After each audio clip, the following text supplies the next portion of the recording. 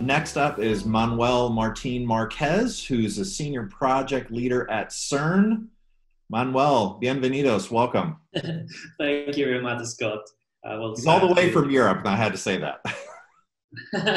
no, I have to thank you as well because you know, it's nowadays maybe this is the only way out. We have to meet such a number of people and especially from the CERN perspective as well, we need to communicate what we do and reach new audience is something that we really appreciate. So thank you very much for this. Tell us a little bit about CERN and uh, and what, what's going on there. Okay, thanks. So CERN is an international organization. CERN is the European Laboratory for Particle Physics. So the international organization is funded by the mostly by the, the European member states so, but the collaboration is much wider. Today we have institute for more than 110 different nationalities, which is kind of the same number of United Nations countries, yeah, that work together to achieve the same goal. So, and the goal is very simple, which is do fundamental research, which link with our mandates. Our mandate is very simple, which is try to understand how the universe works and what it's made of. Simple to say, hard to, to achieve, yeah? So what we're trying to do is to do fundamental research to try to understand, you know, which is the main building blocks that make everything, yeah, which make yourself, myself, the connection that we are using today, uh, and the largest structures of the universe, of course, planets, stars, galaxy, clusters, and something even more fancy could, could be matter, antimatter, black energy, black matter, all this kind of fancy stuff that we need to understand what they're made, what they made of.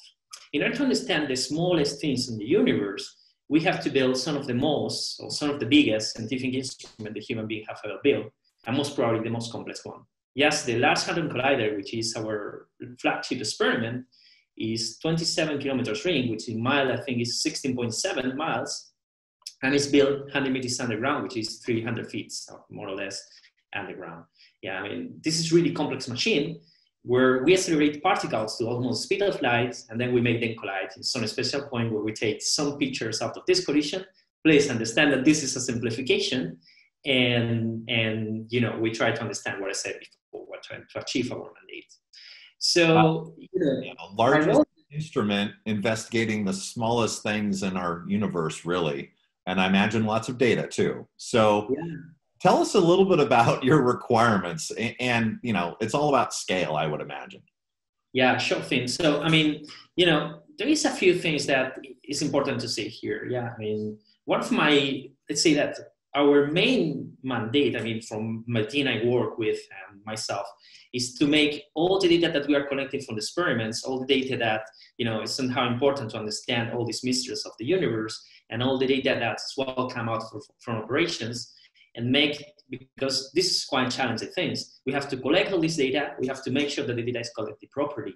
We need to make sure that the data is stored and persisted, sometimes forever. This is something that is important to say. What we do at CERN is quite unique. So I like to say that the data that we are collecting sometimes is human heritage because there is no second chance to, to get this data. And you know, somehow we never know if we'll have to come back to the data that we are collecting today. Most probably we will, as our understanding of the universe change, we have to rewrite the history of physics, for instance. Yeah. So, but yeah, I mean, you asked me about data volumes. So yeah, I mean, when we are in operations, we are collecting more than one petabyte per second. So one petabyte, two petabyte, three petabyte, and so on and so forth, which is you know, this is the physics data. This is data that is interesting for, for scientists. This is data that got the Nobel Prize in 2012 with the, I mean, later on with the Higgs boson discovery and all this kind of stuff. So, however, there is a, something that is important to say here, which is, you know, so even if you may think that you know this guy from CERN, one petabyte per second, this is far away from what I'm doing in my daily base operations. It's a small company or biggest one, yeah. Mean, because I don't know that many, I don't think that many organizations have the chance to run these large experiments or deal with such an amount of, of data, yeah. So, but actually, you have to understand that the background of the problem that you're dealing with is the same. It's exactly the same. I mean, I've been doing any of us have been doing an investment on collecting data. I mean, now more than ever, because the amount of data that we are collecting is increasing and increasing, as well the complexity and so on and so forth. So, and we need to get profit out of this data. It doesn't matter. I mean, for us, it's understanding about the universe. For you, could be, as Andy Mendes, and they said by Vodafone that they wanted to, to understand the behavior of some customers or whatever. But actually, it's profit that you wanted to get from the data.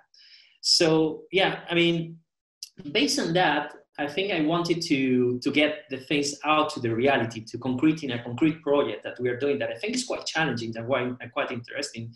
And I've been doing for the last few months with, with part of my team.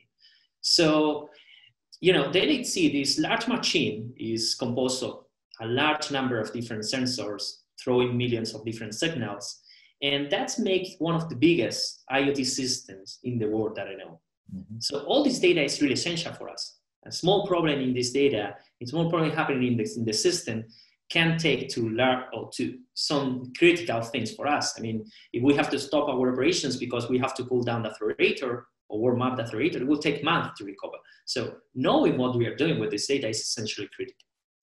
So this IoT system, mm, as I said, million of different signals or whatever, today is more than 1.1 petabyte of time, of time series data.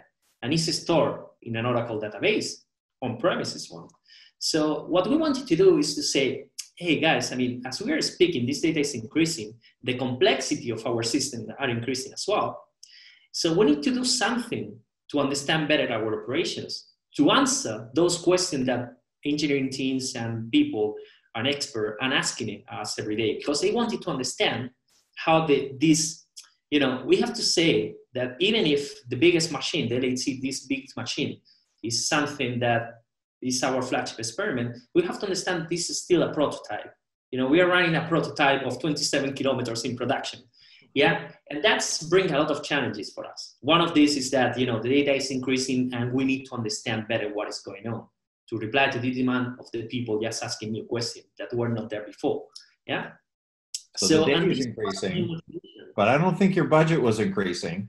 And i wanted no. to go back to one thing you said earlier about the cost of downtime i want to make sure i heard that right if there's any sort of disruption it's months to recover yeah i mean we have the experience in the past when we hit little problem in one of our systems, just take us two months to recover. Yeah, I mean, that was one of the biggest issues that we have in the past. But I don't want it to focus on that sense. You know, for us, this data is critical. We wanted to do more with the same budget that we have, even with less, because you know the situation with science is getting flat. So we need to do something as well, and this is very important to say, to answer those questions that we were not able to give tools to be replied before. So you know, we are moving from an on-premises services to something better that can help us to increase, I mean, to cope with the demand of data, but as well to have all these add-on things, analytics, machine learning, and all these kind of things that you can put on top of this. Yeah. Mm-hmm. So, but we have some some requirements that you asked me. This is why I went through this long introduction. So first one is what we wanted to keep the very simple architecture that we had before. Before we have an on-premise database, so we didn't want to reinvent the wheel and go for something really complex because we don't have two resources to do that. What we wanted to test is whether we can do the same with us, the same simplicity of architecture. We wanted to do the same. I mean, we wanted to improve, do better without disrupting the things. So this is where all these autonomous uh, data warehouse or the autonomous Oracle technologies came in.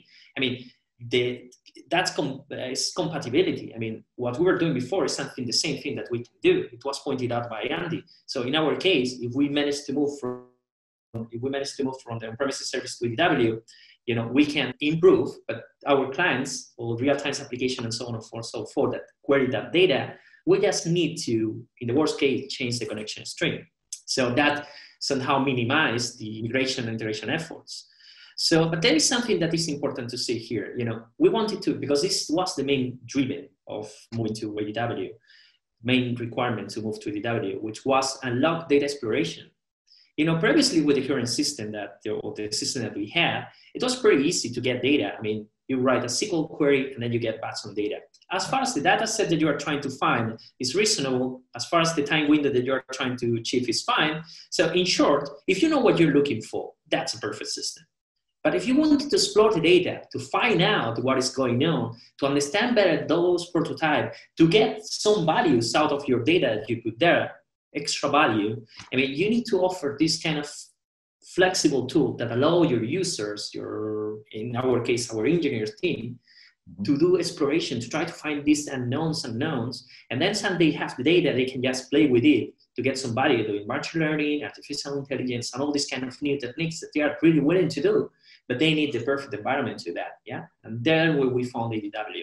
So of course, I can talk about other requirements like lowers operations and development costs, you know, this is nothing new if you, if you know a little bit ADW or autonomous technologies protocol. So we have more data, don't have as many, you know, the number of people to support that is not growing. More data, uh, you know, we want to provide uh, all that capability to your your users, and also keeping a control on costs. So let's figure out what what was the architecture that you landed on for the cloud.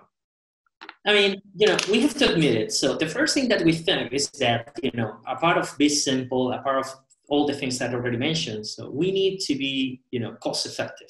So mm-hmm. we need to, to, you know, maintain the cost. That was really critical in our requirements from the beginning. So for in that sense, we, we think like, you know, the first thing is that we need to use these protocol autonomous technologies, but we need to be really smart. So in that sense, you know, we have 1.1 petabyte of time series data that we need to move to the cloud and use CDW to, to query the data. Why don't we want it to, or why don't we, yes, be a little bit smarter? And then instead of putting this data into the Exadata, using object store, or do the storage to that. So, and that was pretty, I mean, that was pretty new approach that all this flexibility, all these new technologies, or how it was called during the, this event, modern data warehouse, allows you is to have all this flexibility, test new things, and then fit with the one that works for you. So what we did is take all this data coming from the control system, use Kafka. This is another thing, you know, it's an open source technology that integrates really well with your infrastructures. Mm-hmm. Yeah. So use Kafka as a buffer collect the data, the data is, is stay in Kafka, we do some transformations. So we massage the data to create Parquet files that later on we deliver to the object storage, and then we use CDW as a querying engine to this. So with that, what we got is a very, very, very, how to say, simple system. Actually, you know, we don't have to deal with all the, you know, all the complexity of having data into database or whatever, if it, even if the autonomous is doing all the tricks for you. So this is very cost effective because we got the same performance that we were getting before, or I will say even better. And there's a nice story that I can tell you later if we have the time to see how we improve the performance using this, this setup. Yeah. But actually the cost of having the data in the object stored instead of Exadata, it was a fraction of the cost. Yeah, mm-hmm. because you are paying just for storage, which is object storage is really relatively cheap in terms of cost. Yeah. And then the performance that we're getting to access to these Parquet files as an external tables was more than enough than what we need. So, but then, you know, I mean, the system that you are providing, guys, it's pretty flexible. We wanted to do something better. Yeah, so we were just collaborating with your development team to, in the meantime, the ADW was evolving because we've been working with you for quite a long time. And then we came out with this idea of saying, why don't we use these hybrid partition tables? So we know that 90% of the, of the assets that we have is to hot data, data that been produced over the last few days. Mm-hmm. Why don't we move this data to Exadata and the rest of the data is used, is kept in the object storage? Mm-hmm. With that, what we got is a kind of very nice transparency layer that allows you to query the data in SQL, and then the data is being collected for the way, or from the way, from the place it is, transparently to the user. And then the performance was relatively very, very good for us. So this, thank you for that. So this solution, um, very simplified, which is one of your objectives, cost effective, but I think the other, the third leg of that stool is your performance was actually better than you thought it was going to be with this implementation. So I think you've achieved kind of the the objectives there. Would you agree? Yeah, sure thing. And thing I forgot to mention about this Oracle Analytics Cloud that we put on top you know, do you remember that aspiration that I told you before? So that was key as well to allow data exploration too, because you know, even if you think that CERN is plenty of smart people, that sometimes it is, sometimes it's not, it's just any other place. You know, we need to offer tools to do the things in a very simple manner. Because even if I'm the most knowledgeable data scientist, sometimes I just need to explore my data. So we need to, a tool that allows you to explore the data in a simple manner, but as well to scale in complexity and in, in volume as well. And Oracle Analytics Cloud was kind of a good fit for that. Fantastic. Well, I, again, I, I, feel like this is uh, once again more of a partnership and you're taking advantage of some of the services in the manner you see fit. So let's actually go to that, um, the next part here, which is what did you see as gains um, implementing this solution um, for you? Yeah, I mean, you know, I would like to say that stress on the point that you mentioned before, I mean, which is partnership. And this is very important for us before getting into this, because, you know, I don't see, this is my personal opinion, I guess the opinion for everyone working at CERN with you guys, is that we are not customers, we are partners. So we've been working together for many years. So I have to thank you because that this project is, is, is actually the result of this partnership. I mean, you get some hints. I mean, we are working very closely to the development teams to make that that work. And I think that was part of the success as well. Yeah. So if we talk about our gains, so it, it was summarized, so it was already mentioned. So we got a very simple architecture. It was compatible with what we had before. So all these real-time applications that we have hundreds of applications accessing to this data, mm-hmm. they don't have to change. I mean, because they are legacy applications, maybe maintaining this application is a nightmare, but they just change the connection string in the worst case, yeah, and then they are working. I mean, the move from that is transparent in majority of the cases it's very cost effective. So, you know, but for the cost of 1.1 petabyte of, it's much less because we compress the data in Parquet as well. But let's say for the cost of one petabyte in only storage, which is almost negligible, we have a very good and performance system, yeah. So we got automatic access to advanced optimizations, you know. So we don't want to optimize the system. What we want is to profit from the system to do whatever we want it to do, which is analyze the thing. So, and then, you know, when you have this Exadata and all this performance tuning that is done automatically by you, for you, this is perfectly fine. I mean, that's perfect scenarios for us, yeah?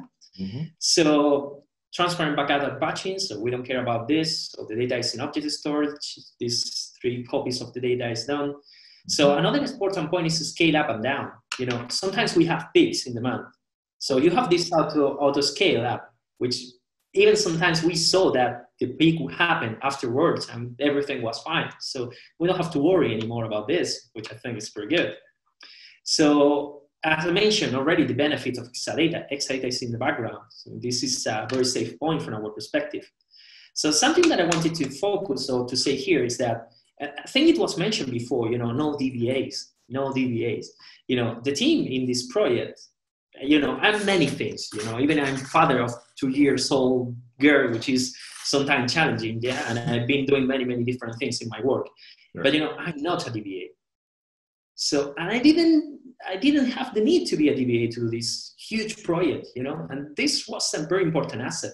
And that takes me to the other point because you know what we saw already is that you know people doing boring DBA stuff because you know, some people get bored about doing the same thing and, and again, you know, performance tuning, you dealing with users and all these kind of things. You don't need to do that anymore. I mean, you can just swap the work of these people to get the most out of the data that you have. What we saw is that there is already a swap of people doing DBA stuff to start analyzing the data, which at the end of the day is what we need to do. Yeah.